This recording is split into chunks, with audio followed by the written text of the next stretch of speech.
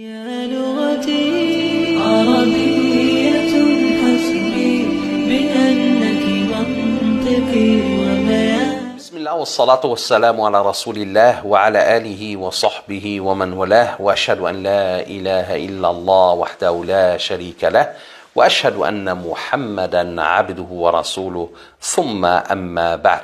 Wir fahren fort, inshallah ta'ala, mit unserem Ramadan-Special und es ist so wichtig, dass wir die Worte Allahs Azza wa Jal ständig hören und die Worte seines geliebten Propheten Muhammad sallallahu alaihi wasallam, damit wir unsere Herzen reinigen, damit wir unsere Herzen füllen mit Rechtleitung und mit dem, was Allah subhanahu wa ta'ala liebt. Und heute werden wir eine wunderschöne Überlieferung hören, die uns festigt und die uns bi'idhnillah ta'ala zu immer besseren Taten verhelfen wird. Und so überliefert Abu Dawud rahimahullah ta'ala, dass der Prophet Muhammad sallallahu alaihi wasallam einmal zu Mu'adh ibn Jabal sagte. Und Mu'adh ibn Jabal war einer der gewaltigen Sahaba, einer, der mit das meiste Wissen getragen hat.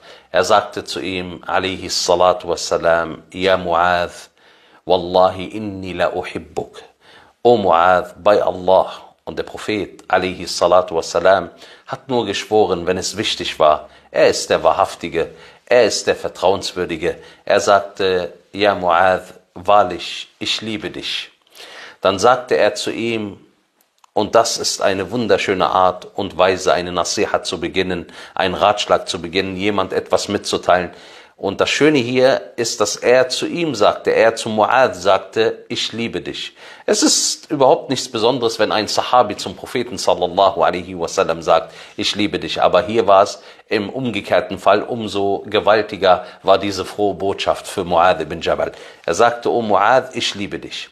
فلا تنسى أن تقول في كل دبر صلاة اللهم أعني على ذكرك وشكرك وحسن عبادتك. Vergiss niemals nach einem jeden Pflichtgebet, was zu sagen, O Allah, verhelf mir, deiner zu gedenken und verhilf mir, dir gegenüber dankbar zu sein und verhilf mir dazu, dir gegenüber eine gute Anbetung zu vollziehen. Allahu Akbar. Das war das Bittgebet, welches der Prophet alaihi salatu wassalam fünfmal am Tag verrichtet hat. Wenn du ein besonderes Bittgebet haben möchtest, dieses Bittgebet ist ein ganz besonderes Bittgebet. Rasulullah sallallahu alaihi wasallam hat das fünfmal am Tag gesagt. Und hier ist wichtig, dass wir verstehen, was ist der Inhalt von diesem Bittgebet. Er sagte, O Allah, verhilf mir, deiner zu gedenken. Nur ein lebendiges Herz gedenkt Allah Azza wa.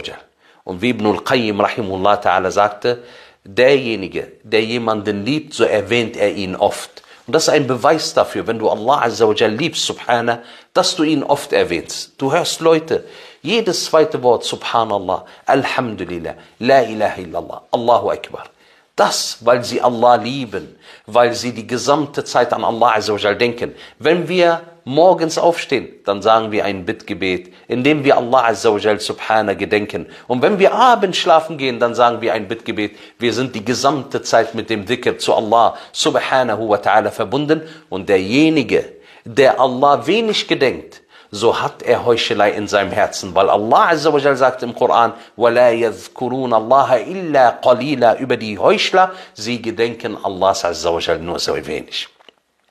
Sie gedenken Allahs Azza wa Jal nur sehr wenig bedeutet, sie gedenken ihn nur, wenn andere Leute dabei sind. Aber der Gläubige ist nicht so. Er gedenkt Allah Azza wa Jal die gesamte Zeit. Das füllt sein Herz und das steigert seine Liebe zu Allah subhanahu wa ta'ala und er beweist Allah Azza wa Jal damit, dass Allah subhanahu wa ta'ala die gesamte Zeit sein Leben füllt. Und dann sagte er, und verhilf mir, dir gegenüber dankbar zu sein. Wie wenige Leute sind dankbar gegenüber Allah Azza wa Jal. Was hast du für dein Leben bezahlt? Du sagst mir nichts. Aber schau mal, subhanallah, Allah hat dir dieses Leben geschenkt. Warum dienst du nicht Allah Azza wa? Warum bist du gegenüber Allah Azza wa nicht dankbar? Dankbarkeit ist, dass du es mit Taten beweist. Und das Schöne ist, wenn du dankbar bist gegenüber Allah Azzawajal, dann wird Allah Azzawajal, und das ist der beste Weg, dass Allah dir noch mehr ermöglicht. Wie Allah Azzawajal sagt, La in shakartum, la. Wenn ihr dankbar seid gegenüber Allah Azzawajal, werde ich euch noch mehr geben. Das heißt, diese Dankbarkeit gegenüber Allah Azzawajal wird dir weitere Türe öffnen. Und daher, wenn du eine gute Tat machst, dann danke Allah Azzawajal dafür. Warum? Damit Allah dir noch eine bessere Tat ermöglicht. Wenn ihr dankbar seid, werde ich euch noch mehr geben geben. Wenn ihr aber undankbar seid gegenüber Allah Azzawajal, dann ist meine Strafe hart, sagt Allah Azzawajal. Dankbarkeit ist nur eine Sache, die die gläubigen Diener haben. Und die meisten sind gegenüber Allah Azzawajal undankbar. Ja, sogar die Gnaden, die Allah Azzawajal ihnen gegeben hat, diesen Dienern, die Diener bekämpfen Allah mit diesen Gnaden. Allah hat ihnen Gesundheit gegeben, sie beten nicht, Sie, billah, laufen zu Orten, die haram sind. Sie sprechen mit ihrer Zunge Schlechtes. Sie sehen mit den Augen nur das, was haram ist. Sie sind Leute, die ihre Gesundheit dafür nutzen, um mehr und mehr an Sünden zu machen. Sie danken Allah Azzawajal nicht. Und dann sagte er, und verhilf mir dir gegenüber, ja Allah, zu einer besseren Anbetung. Er sagte nicht, dass du mir nur gegenüber dir zur Anbetung verhilfst, zu einer guten Anbetung. Denn wie viele Leute machen ihre Anbetung nur, um sie hinter sich zu bringen. Und wie wenige Leute machen die Anbetung, damit sie sich Allah Azza wa Jal Subhana nähern. Was für ein Unterschied. Shattana, Shattana, Beina Rajulain. Ein Unterschied wie zwischen Himmel und Erde, zwischen diesen beiden Leuten.